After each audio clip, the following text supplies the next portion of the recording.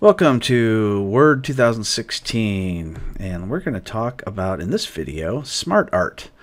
Smart Art allows us to do some great business things in a Word document. Uh, you could also use, maybe use this for a paper for school as well or maybe even in, in uh, some other application but um, I'm going to personally like to use it for business. So let's click on the Insert tab and then click on Smart Art.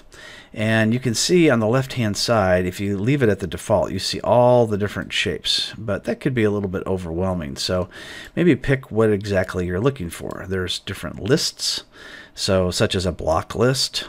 Uh, there's a picture accent list, uh, horizontal picture accent list, all different kinds of lists. Uh, here's a process. And uh, some of these things might be used for scientific, some of these might be used for other business applications. Uh, so, for instance, this is a timeline, which is pretty cool. Here's cycle. So it sort of shows um, maybe some flow chart type things. And there's a hierarchy. So if you have a business that you want to show who's in charge and that kind of thing, then this would be the way to do it. Relationships and matrix and there's all different kinds of other ones as well. So let's go ahead and look at cycle which I think might be useful to a lot of people. Let's go ahead and click OK on that particular cycle. Now once we open this up we can see that we can go in and edit each one of these different boxes individually. So let's just say that uh, these are, we've got one, two, three, four, five. So let's just say it's Monday through Friday. So let's do Monday, Tuesday.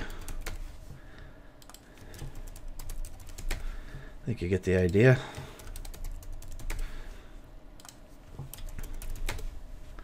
Okay, you can see when I edited these on the left-hand side that they edited these on the right-hand side as well. All right, so let's go ahead and close our box. Now, you, what you can do is you can manipulate each individual box. If you want, uh, say, Monday to get bigger for some reason, you can go ahead and change the size of Monday. If you're not a big fan of Wednesday, you can click and drag inside, and you can make Wednesday really small. So that's one thing you can do. Let's go ahead and take a look at something else. Let's highlight uh, our Friday box, and let's go ahead and click on Change Colors and we can see that all the different colors change. But we may not want to move, change all the different colors. We may just want to change one particular uh, the of the uh, color here. So let's go ahead and click. Oh, that's editing text. Let's right click again. Click on font, and from here we should be able to change the color. So let's go ahead. There's our font color right there. And if we right click on the box, you can see fill, and we can change and click fill. And you can see the different colors change as we highlight them. So let's go ahead and change that one to a green. All right, so let's right click again and choose outline. And we can change the thickness of the outline. And then we can go in and change the color of the outline. Let's click on style and we can see the different styles change as we go around them. Very good. All right, so you can also edit the text, as I mentioned earlier, the font. You can change the shape. So let's say, hey, I don't want that shape for that particular one. Let's change it into an arrow.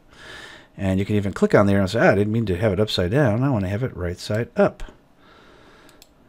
So there we go. If you want, you can make the entire picture bigger just by clicking on the outer edge and make sure you don't get it too far one way or the other. You can then pick it up and move it a little bit if you want as well. Now, if we want, we can uh, go back and edit uh, the entire boxes just by clicking on this arrow. It pops it back up again.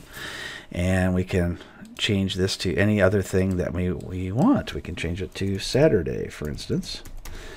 Of course, we're upside down on Saturday, but that's okay.